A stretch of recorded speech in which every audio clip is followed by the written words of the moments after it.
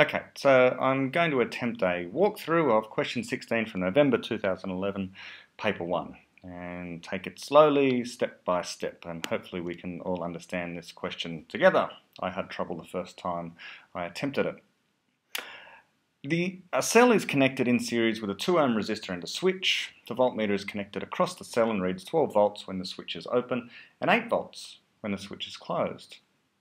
Okay. Um, so what is the internal resistance of the cell?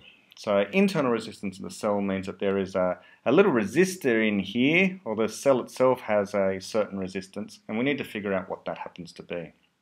So let's just simply ignore the fact that there is a hidden resistor in here at the moment, and concentrate on the fact that it says when the switch is closed, so when the circuit is complete, you've got 8 volts uh, coming out of this battery, and going through this here resistor.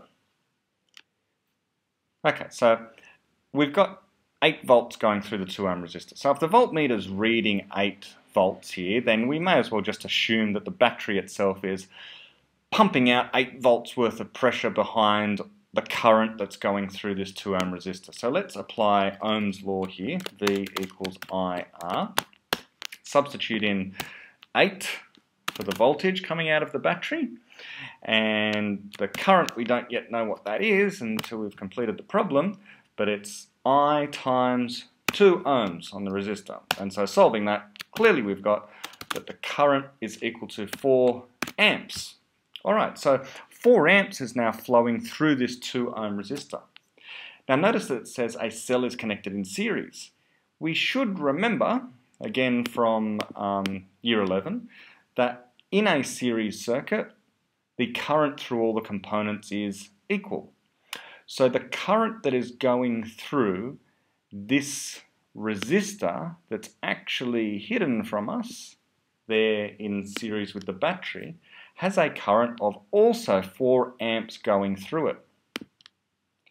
Now the other thing to realize with this problem is that when the switch is open, the voltmeter reads 12 volts when it's closed, it reads 8 volts. So there's a missing 4 volts. The opening of the um, the opening of the switch there means that the battery itself, all on its own, has an EMF, an electromotive force of 12 volts. Now, how do we know that? Well, because if there's nothing else in the circuit, apart from a resistor. So in other words, if the circuit just looks like that, then the total voltage in the entire circuit is 12 volts. If the total voltage in the entire circuit is 12 volts, and the only place that the voltage is coming from is that cell there, then the cell itself must have an EMF of 12 volts. And that entire 12 volts is going through the resistor. So there's 12 volts in this scenario. When the cell uh, when the switch is open. Now if we close the switch and then allow the voltage, which is originally 12, to also go through this 2 ohm resistor, then the reading on the voltmeter drops to 8 volts. We know that the 8 volts is going through here. Where's the other 4 going? The other 4 is going through this resistor here.